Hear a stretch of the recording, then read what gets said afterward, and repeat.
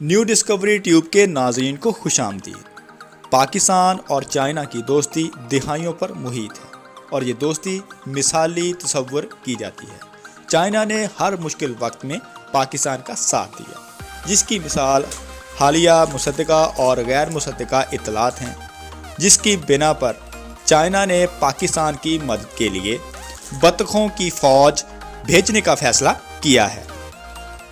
ناظرین، آپ کے ذہن میں فوراً یہ سوال ابھرا ہوگا کہ آخر پاکستان پر ایسی کیا افتاد آ پڑی کہ اسے چائنا سے بطخوں کی فوج منگوانا پڑی؟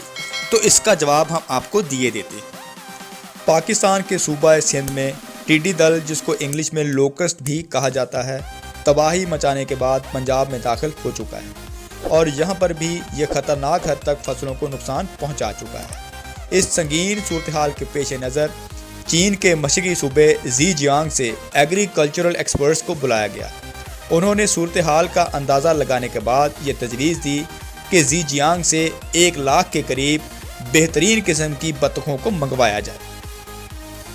ایگریکلچرل ایکسپرٹس کے نزدیک بطخیں لوکس یعنی ڈڈی دل کو تلف کرنے کا بہترین، مؤثر اور سستا طریقہ ہے ایکسپرٹس کہتے ہیں کہ بطخیں کئی طرح سے مرغیوں سے بہتر ہیں۔ بطخیں گروپ میں کام کرتی ہیں۔ ایک بطخ ایک دن کے دوران دو سو لوکس کھا سکتی ہے، جبکہ اس کے مقابلے میں ایک مرغی ایک دن کے دوران زیادہ سے زیادہ ستر لوکس کھا سکتی ہے۔ تو ہم کہہ سکتے ہیں کہ بطخیں اس بیماری سے مقابلہ کرنے میں بہترین ذریعہ ہیں۔ دوستو، اداروں کے درمیان ابھی یہ تجویز زیر غور ہے۔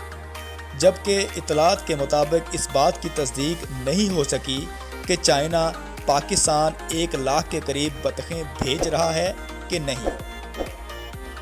آئی ہوپ کہ آپ کو ویڈیو پسند آئی ہوگی۔ ایسی ہی انفارمیٹیو ویڈیوز کے لیے چینل کو سبسکرائب کر لیجیے۔ شکریہ۔